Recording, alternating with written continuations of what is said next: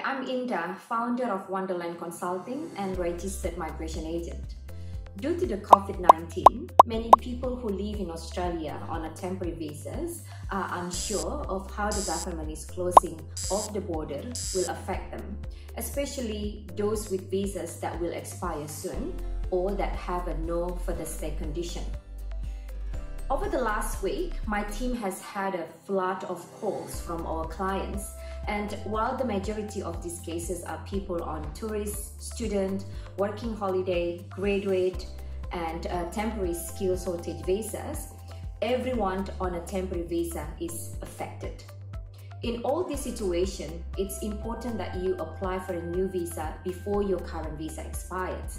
And even if you have a no further stay condition, the Australian government has announced measures to support you. You will need to write to the Department of Home Affairs and if your case is approved, you can then apply for a new visa while in Australia.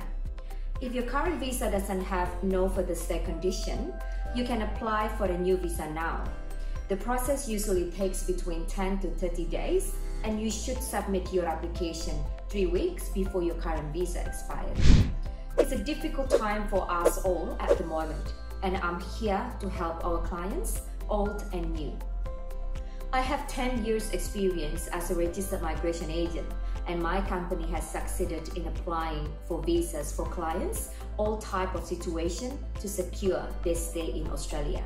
If you would like to take to the first step towards finding some peace of mind, then please send me an email on perth at onederland.com.au or call my team on one of the numbers on the screen.